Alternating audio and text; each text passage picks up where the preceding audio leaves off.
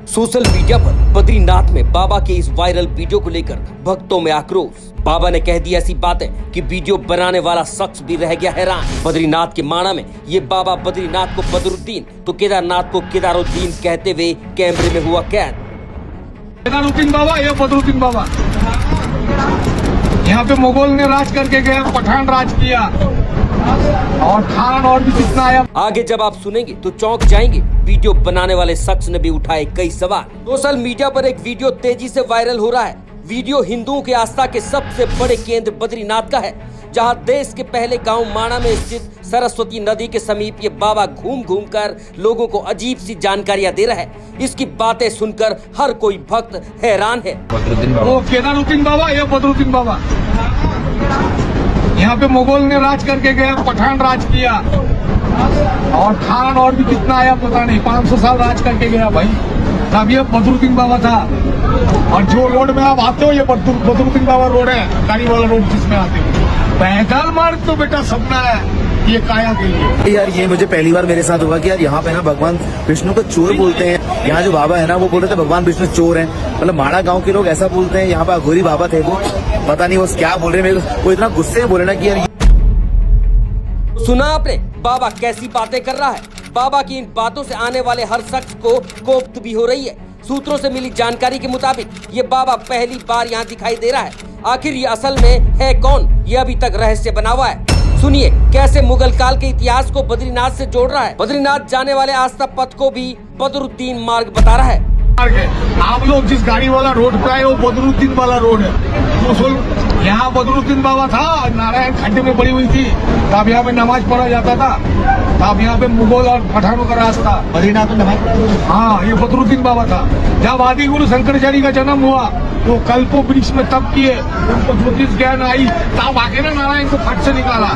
तो वो खट देखा कहाँ से नारायण को निकाला वो नारायण का पैदा करे बदरुद्दीन बाबा था। वो केदारुद्दीन बाबा ये बदरुद्दीन बाबा। यहाँ पे मुगल ने राज करके गया पठान राज किया। और खान और भी कितना आया पता नहीं 500 साल राज करके गया भाई। तब ये बदरुद्दीन बाबा था। और जो रोड में आप आते हो ये बदरु- बदरुद्दीन बाबा रोड है गाड़ी वाला रोड जिसमें आते हो। पैदल मार्ग तो बेटा सपना है।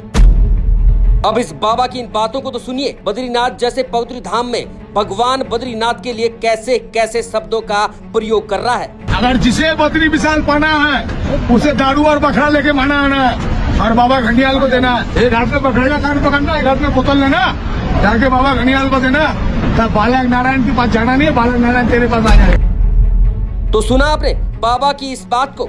बद्रीनाथ में दारू और मीट की बातें कर रहा है। इसकी इन बातों को रिकॉर्ड करने वाले शख्स ने इसके बारे में क्या कहा, आप भी सुनिए।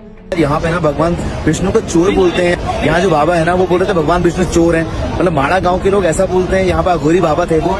पता नहीं वो क्या बोल रहे हैं, मेरे वो इतना गुस्से में बोले ना कि यार ये तो जगह भगवान शिव की है और मैं अघोरी हूँ और भगवान विष्णु चोर है। बोतल लाओ, दारू लाओ, बकरा लाओ, भगवान जाने यार पहली बार देखा मैंने अपनी इस चारधाम यात्रा में, सच भैया जी, इन्होंने जो भी बोला ना मेरी तरफ़ से बिल्कुल माफ़ी है।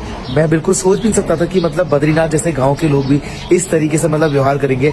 अब वैसे तो बाबा, आपको पता है कितने आदरणीय होते हैं। जब भी हम कहीं किसी बाबा को देखते तो हम बोलते हैं, दान करेंगे। हम बोलते हैं कि चलो, पुण्य कमाएँगे। लेकिन अगर हमारे हिंदू समाज के अगर बाबा लोग ना, हमारे देवी देवताओं को लोग ऐसी सोच रखेंगे, इतना अभद्र टिप्पणी करेंगे ना तो सच में ये बहुत ज़्यादा मतलब निंदनीय है मतलब मैं तो बोलता हूँ कि मतलब ऐसे बाबाओं को तो क्या माफ़ करें, ऐसे को क्या बात करें, लेकिन मैंने जो रिकॉर्ड किया ना, वो आपको दिखाना बहुत ज़रूरी क्योंकि वो बाबा ना वहाँ राह चलते हर बंदे से यही बात बोल रहा था और हमारे बगल से जब वो गुजरा था ना तो बोलता बोलता गुजरा तो हमने रिकॉर्ड कर लिया तो उसको शायद पता तो चल ही गया था कि हम रिकॉर्ड कर रहे हैं, लेकिन वो बोल रहा था कि दारू लाओ, बोतल लाओ तो मेरे को लगा कि यार ये वीडियो बना के आप लोग को दिखाना चाहिए। आखिर बद्रीनाथ के पास वाले गाँव में के बाबा लोग किस तरीके से सोचते हैं और किस तरीके का व्यवहार करते हैं, यहाँ आने जाने जाने वाले श्रद्धालुओं के साथ।